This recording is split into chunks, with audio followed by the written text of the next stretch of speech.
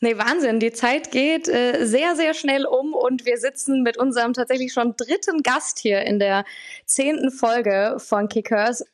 Glaube ich, der könnte auch mich kennen. Ich habe äh, äh, jahrelang auf professionellem Niveau Fußball gespielt. Ich habe begonnen beim Karlsruher Sportclub mit, mit 19 Jahren. Wir standen mal kurz, glaube ich, auf dem Abstiegsplatz und es war ein Katastrophenjahr.